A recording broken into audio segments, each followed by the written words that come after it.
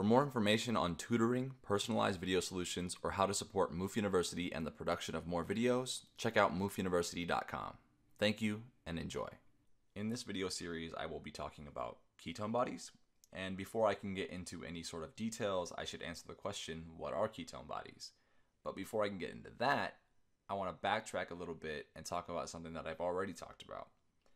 Up here to the left, you'll see that this is a fatty acid here. Okay. And previously, I've talked about how fatty acids can be broken down for energy. Um, specifically, they're broken down into a bunch of acetyl CoA molecules. And um, the process by which we can convert uh, a fatty acid into, into, a bunch of acetyl CoA molecules is called beta oxidation. I have a video series on that. You should check it out um, if you haven't already. And in that process, we're basically metabolizing fatty acids for energy. Um, in beta oxidation, we get a bunch of uh, FADH2s, we also get NADHs, and of course, plenty of acetyl CoAs. And the acetyl CoAs can follow through through the TCA cycle. And when they go through the TCA cycle, they they give us some uh, NADHs, right? Some more NADHs, some FADH2s, and some GTPs. Again, all valued at energy. Now, why am I talking about this? Well, the reason why is these acetyl CoAs, when they're made, they really want to go through the TCA cycle. But what can happen is that the TCA cycle can get backed up.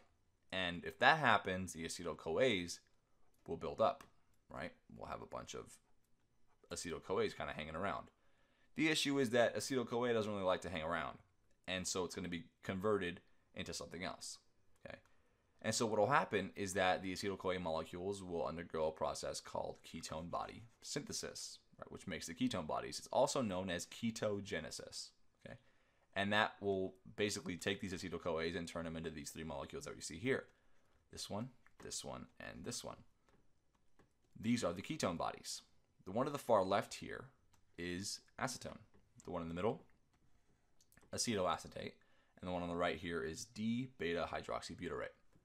And so these are the ketone bodies. Ketone bodies. Hmm. Okay, well, a ketone looks basically like acetone, right? It's a carbonyl with two R groups on either side. And they all kind of have that, except D beta hydroxybutyrate has a carboxylic acid. But the point is, they have carbonyl groups, okay? Um, actually, the point is that these three are the ketone bodies, and that's what you should know, okay?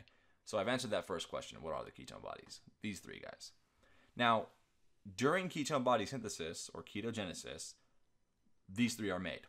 Now, acetone is made to a lesser extent than acetoacetate and D-beta hydroxybutyrate. They're made to a greater extent.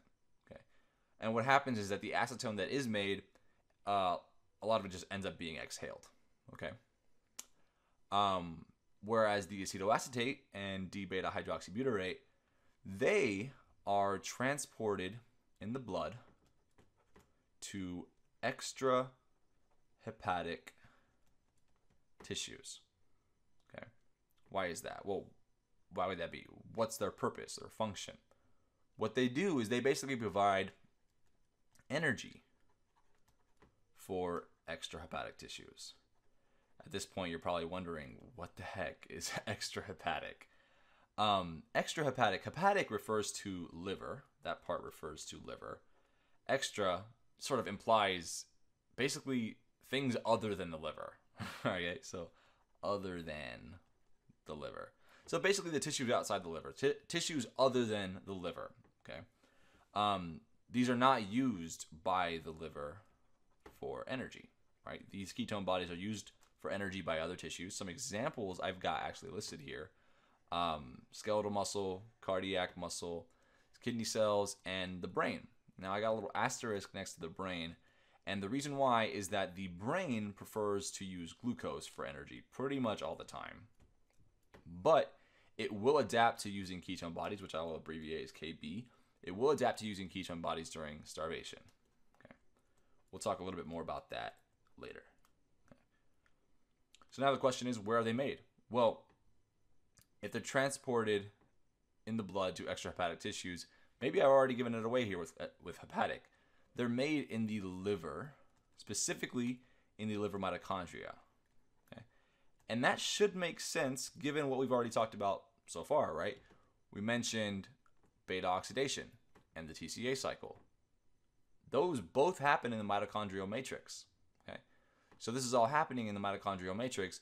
What happens is that if the TCA cycle is backed up, the acetyl CoAs will go through ketone body synthesis to make these ketone bodies, and these ketone bodies here can be transported in the blood to tissues outside of the liver, and those tissues can use these ketone bodies for energy.